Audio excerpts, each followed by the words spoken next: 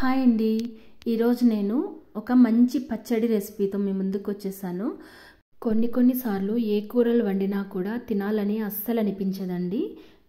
అలాంటప్పుడు ఇలా పచ్చడి చేసుకొని తిన్నారంటే ముద్ద ముద్దని ఆస్వాదిస్తూ తింటారండి.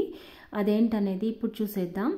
ఒక స్పూన్ నూనె వేసుకొని అందులోకి కట్ చేసి పెట్టుకున్న పచ్చిమిర్చిని వేసి ఇలా కొంచెం వేయించుకోవాలి. ఇలా వేయించుకున్న పచ్చిమిర్చిని ఒక ప్లేట్లోకి తీసాక ఒక స్పూన్ నూనె వేసి అందులోనే ఒకటి కట్ చేసి పెట్టుకున్న ఆనియన్ని వేసి కొంచెం కలర్ వచ్చేంత వరకు వేయించుకోవాలండి. ఇలా వేయించుకున్న దాన్ని కూడా పక్కన తీసేసుకుందాం. అందులోనే ఇంకొక స్పూన్ దాకా నూనె వేసుకొని హాఫ్ కట్ దాకా కొత్తిమీర అలాగే హాఫ్ కట్ట పుదీనా ఆకులు వేసుకొని వీటిని కూడా ఒక నిమిషం పాటు మనం మగ్గించుకోవాలి. ఈ ఆకులు అనేది మరీ ఎక్కువ వేయించకండి. ఇలా కొంచెం మగ్గితే సరిపోతుందండి. ఇప్పుడు వీటిని కూడా ఒక ప్లేట్లోకి తీసేసుకోవాలి.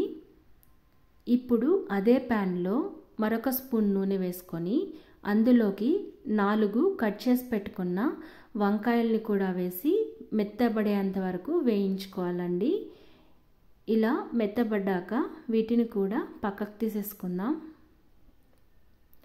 ఇలా పక్కకు తీసేసాక ఇప్పుడు అదే ప్యాన్లో మరొక స్పూన్ దాకా నూనె వేసుకొని నాలుగు కట్ చేసి పెట్టుకున్న టొమాటోలు వేసి కొంచెం రుచికి సరిపడా మనం చింతపండును వేసుకోవాలండి. కొంచెం పులుపు చూసుకొని వేసుకోండి.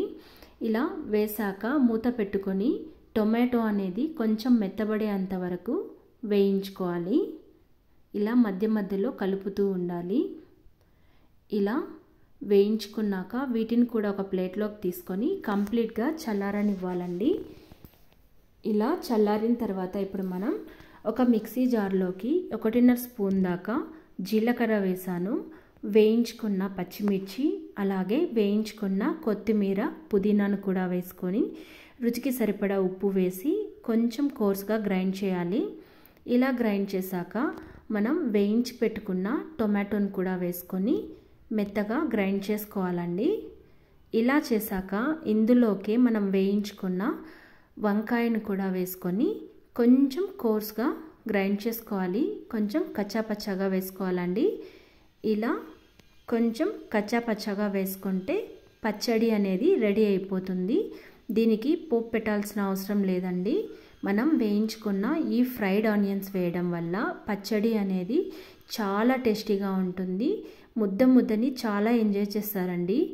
ఏమి తినాలని అనిపించినప్పుడు ఇలా వండుకొని తిన్నారు అంటే చాలా ఎంజాయ్ చేస్తారు. చాలా సింపుల్ రెసిపీ కూడా. మీకు ఈ రెసిపీ నచ్చిందని అనుకుంటున్నాను. నచ్చితే కనుక లైక్ చేయండి షేర్ చేయండి సబ్స్క్రైబ్ చేసుకోండి. Thanks for watching.